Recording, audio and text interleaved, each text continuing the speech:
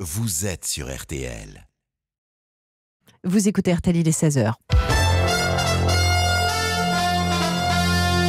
L'info, c'est avec vous, Bénédicte Tassard. Bénédicte. Retraite par points, tous perdants. Retraite à 60 ans, tous gagnants. Macron, retire ton plan. C'est l'un des slogans qu'on peut lire cet après-midi dans la manifestation parisienne. Partie depuis deux heures maintenant des Invalides, direction d'Enfer Rochereau. Les représentants syndicaux ouvrent le cortège comme d'habitude avant de se retrouver plus au calme pour décider de la suite du mouvement contre la réforme des retraites. Derrière eux, des milliers de personnes. Elles sont moins nombreuses que jeudi dernier, mais toujours aussi motivée comme Marie, la cinquantaine, fonctionnaire aux impôts. Il y a peut-être un peu moins de monde. C'est vrai qu'on a eu des difficultés à rejoindre le cortège. On a été détourné par les CRS. Mais ma détermination, elle est plus forte que jamais. Parce que vraiment, je veux le retrait de ce plan Macron de Levoix qui détruit des acquis qu'on a euh, grâce à ceux qui se sont battus avant nous et qui ont établi un système qui fonctionne bien, qui repose sur le salaire différé. C'est-à-dire qu'au lieu de mettre notre salaire, l'intégralité de notre salaire dans notre poche, il y a une partie qui va dans un pot commun. Et c'est ça la sécurité sociale, c'est ça les retraites, c'est ça les allocations familiales. Ça fait quand même trop de mois qu'on nous prend pour des imbéciles, qu'on nous dit on va mieux vous expliquer, vous allez comprendre et vous serez d'accord.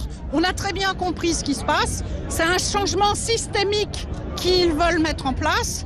Et donc, on a un même objectif, c'est le retrait de ce plan. Marie dans le cortège parisien avec Christophe Ponzio pour RTL. À Rennes, moins de manifestants aussi, mais toujours aussi remontés. Parmi les plus représentés, les soignants venus en masse et aussi les enseignants. À Toulouse, 20 à 60 000 manifestants, calcul syndicalistes et policiers.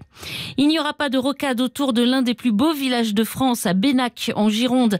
La Cour administrative d'appel de Bordeaux a donné raison aux opposants à ce projet de contournement routier. Les travaux engagés doivent donc être démolis d'ici un mois notamment deux piles d'un pont déjà érigé. La remise en état des lieux devrait être effectuée d'ici un mois. Cette décision de justice conclut une saga de plus de 30 ans. Les courses, c'est dans la romantique ville de Cabourg. La suite des arrivées, Claude Pierre Santi. Oui, Bénédicte, avec euh, le favori Cesario Bello qui a rempli son contrat dans les quintés du jour, combinaison gagnante 13-10. 11, 7 et 9.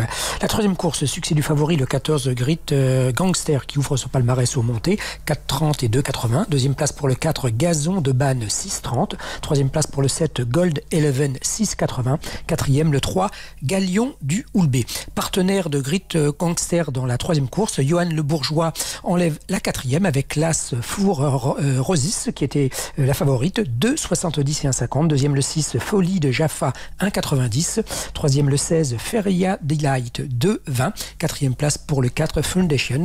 Les concurrents de la cinquième course entrent en piste, Bénédicte. Et on vous retrouve pendant les grosses têtes. Merci Claude, à tout à l'heure. Le temps pour demain, la perturbation continuera sa progression, donc demain vers le sud et l'est du pays, avec de la neige sur les massifs. Attention au vent près de la Manche et de l'Atlantique, avec des rafales jusqu'à 100 km heure. Dégelé demain matin, de l'Alsace aux Alpes.